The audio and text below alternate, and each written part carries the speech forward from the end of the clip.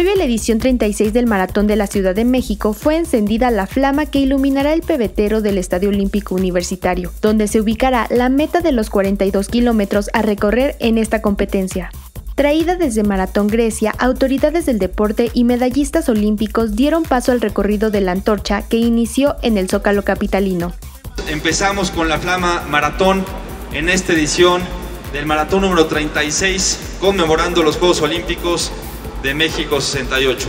Muchas gracias, enhorabuena y mucho éxito para todos los corredores. Yo creo que no hay mejor oportunidad que la celebración del 50 aniversario de los Juegos Olímpicos del 68 en la Ciudad de México, junto con este maratón. Con lo cual hoy celebramos el mensaje de paz, de solidaridad y de fraternidad que siempre llevan los maratones con ellos.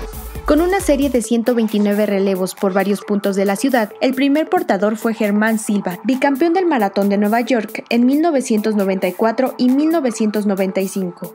Alrededor de las 11 horas, la llama llegó al Estadio Olímpico, en donde dio un recorrido por todo el inmueble como en los Juegos Olímpicos de México 68. Finalmente, el exmarchista Ernesto Canto realizó el último relevo a Enriqueta Basilio, la primera mujer en encender el fuego olímpico en unas Olimpiadas, y que como hace 50 años nuevamente encendió el pebetero.